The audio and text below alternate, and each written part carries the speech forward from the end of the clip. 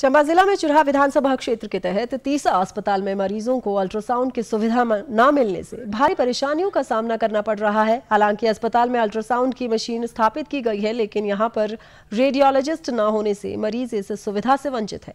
स्थानीय लोगों का कहना है कि इस समस्या के चलते खासकर महिलाओं को परेशानी का सामना करना पड़ रहा है।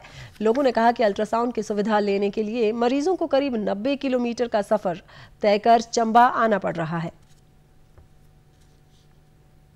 प्रेग्नेंट औरतें होती हैं, उन्हें 100 किलोमीटर चंबा जाना पड़ता है अल्ट्रासाउंड करवाने के लिए। कोई अगर इमरजेंसी हालात में अल्ट्रासाउंड करवाना होता है तो बड़ी मुश्किल होती है। कोई बहुत सारी गरीब है यहाँ पर चूल्हा में अभी और अल्ट्रासाउंड के लिए चंबा जाना पड़ता है। हज़ारों रुपये खर्च होता है, लेकिन जो यहाँ पर व्यवस्था है, वो काफ़ी दायनीय है। चूल्हा में जो है जी, पिछले दस सालों से अल्ट्रासाउंड की व्यवस्था बंद चल रही है।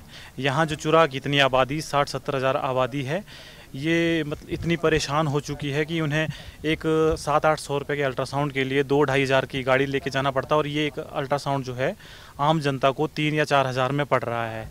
तो मेरी सरकार से अनुरोध है कि इस अल्ट्रासाउंड को व्यवस्था को जो है जल्द से जल्द दुरुस्त किया जाए। इस बीच अस्पताल के बीएमओ डॉक्टर ऋषि पुरी ने कहा कि इस संबंध में विभाग को पत्र लिखा गया है। अल्ट्रासाउंड की मशीन हमारे पास नई मशीन है और वो तीन चार साल से है बट ड्यू टू जो रेडियोलॉजिस्ट होता है, इसके लिए स्पेशलिस्ट डॉक्टर होता है। हमने काफ़ी बार लिखा भी है और जैसे ही कोई रेडियोलॉजिस्ट की अपॉइंटमेंट यहाँ होगी तो अल्ट्रासाउंड मशीन चल पड़ेगी।